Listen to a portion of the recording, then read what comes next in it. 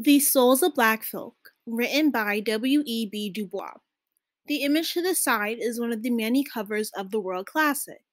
This is the Barnes & Noble Classic version. Image found on barnesandnoble.com. This presentation is presented by Sydney Brockington.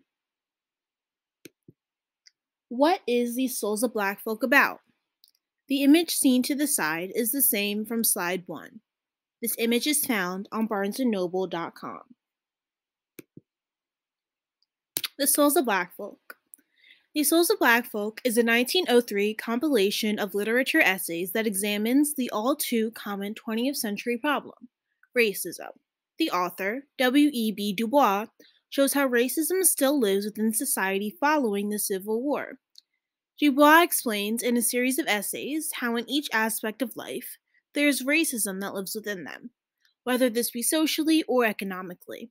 This cornerstone in African American literature also introduces key terms the color line, the veil, and double consciousness, which would go on to become important ideas in the study of race.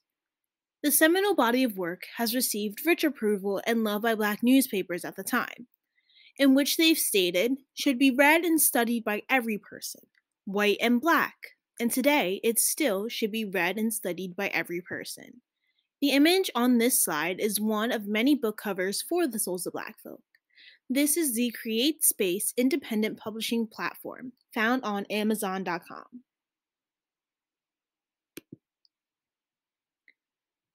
Who is W.E.B. Du Bois? This image is found from Wikipedia. This is via the United States Library of Congress's Prints and Photographs. Du Bois is pictured here at around 50 years old. Right now, we will be learning more about the author of The Souls of Black Folk. W.E.B. Du Bois, born William Edward Burghardt Du Bois, was born on February 23, 1868, in Great Barrington, Massachusetts. He died on August 27, 1963, age 95, in Accra, Ghana. He is best known for his work in founding the National Association for the Advancement of Colored People, NAACP, and a series of books during the Reconstruction era. He had two children, Yolande and Burghardt, both of which he talks about in The Souls of Black Folk. He attended Fisk University and was the first African American to receive a doctorate from Harvard University. The American sociologist spent his life's work towards gaining rights for African Americans, having died just a day before Martin Luther King Jr.'s I Have a Dream speech, and a year before the Civil Rights Act was enacted. What makes The Souls of Black Folk a world classic? The image seen here is an additional classic cover version of The Souls of Black Folk. This one is from simonandschuster.com. The Souls of Black Folk is a world classic because it evaluates the over 400 year old question Will African Americans ever be able to escape the premeditated stereotypes embedded in the minds of white Americans? Some key points that support the fact that The Souls of Black Folk is a world classic is that the novel introduces key terms such as the color line and the veil, which have gone on to become extremely influential terminology in Black history and the study of race. The book also provides reasoning and evidence as to how and why racism still exists after the abolishment of slavery. I will explain these two key world classic ideas next. Why and how is the Souls of Black Folk influential? Again, this is one of the many covers for the classic. This one is from biblio.com. The influence of the Souls of Black Folk is substantial. The introduction of key terminology, such as the color line and the veil, are key in the study of race and history. The color line is the hierarchical division between the races. This means that white people live on one side of the line where there is better treatment, services, and opportunities. Black people live on the other side of the color line where there are substandard treatments, services, and opportunities. The veil directly connects to the color line. It is a psychological exemplification of the color line. The veil exists within the minds of all people. In white people, it forbids them from seeing black people as fully human. In black people, it prevents them from seeing outside of the stereotypes around them. The Souls of Black Folk also influences how black Americans everywhere view their freedom. This book allows Black people to become more influenced in their stance towards freedom. This book also gives people a first hand account as to how freedom should be obtained. He mainly focuses on higher education as being the most liberating method for Black people.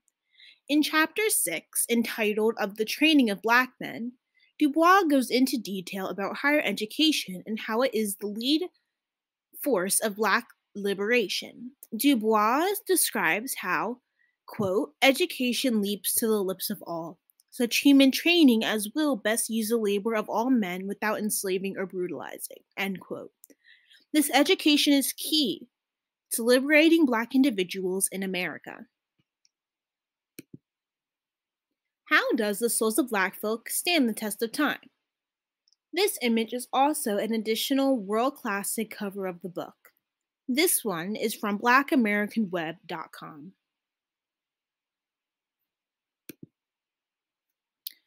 The Souls of Black Folk stands the test of time in a variety of ways. The idea of double consciousness, a term that Dubois introduces in the World Classic, explains how Black people live a somewhat double life. They exist as a Black person and American all at once.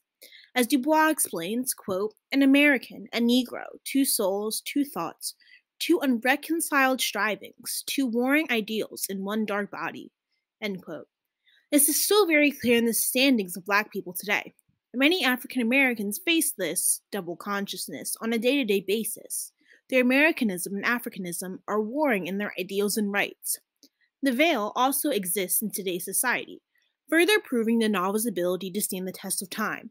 As most recently seen in the brutal police killing of George Floyd this past year, the ideas of the veil live within police officers. For these police officers, they view black individuals as not human, forcing inhumane methods of force on black men, ultimately resulting in wrongful death. The psychological aspect of the veils lives within the minds of these police officers, causing many black deaths by brute force. Started after the murder of 17 year old African American Trayvon Martin in 2013 by a local community watch officer, the Black Lives Matter organization and movement has gained major headway, protesting for those who have been victims of police brutality and all extreme brutality. This organization works towards the very same thing Dubois dreamed of life without the veil, life without premeditated stereotypes from white Americans. To continue, the ideas stated in Dubois' 1903 essays are still present today. Although slavery has been abolished and equal rights have been attained, are African Americans really free? In 1903, when the novel was written, slavery had just ended and the segregation era was beginning. The points Dubois makes are all from a 1903 perspective, yet his points are shockingly current. As quoted in the introduction of the Penguin classic Souls of Black Folk by Ibram X. Kendi, quote, Dubois' dismantling of those like Washington who are apparently accommodating to Jim Crow is as insightful and impassioned and intrepid as the abolitionist dim- dismantling of those accommodating to slavery in the 1830s, or the Black Lives Matter dismantling of those accommodating to mass incarceration and Black death since 2013. End quote. Why is 2021 still so startlingly similar to 1903? White Americans still hold on to over 400 year old stereotypes of Black people. The color line still exists. Black people are still offered lesser opportunities. White people are still often the first choice for jobs and interviews. It allows Black people to ponder the question are they really free? What are the criticisms and competing theories of the souls of black folk? This is an image of Booker T. Washington and W.E.B. Du Bois, whose theories would compete against each other largely during this era. This image is from visitvulcan.com. Washington's theories were one of the main competing theories of Du Bois. I will examine this concept next. Firstly, the main criticism of Dubois came from major white newspapers. Quote, this book is indeed dangerous for the Negro to read, end quote, said the Nashville American. These white newspapers believed Dubois, often credited radical ideas, could cause African Americans to become too aware and too knowledgeable in their own history. A major competing theory of the souls of black folk came from Booker T. Washington. Washington's beliefs differed majorly from Dubois. Dubois focused on, more on education as a means of gaining equality.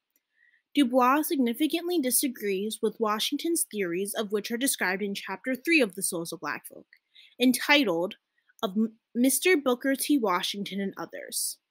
Quote, Mr. Washington distinctly asks the, that Black people give up, at least for the present, three things. First, political power.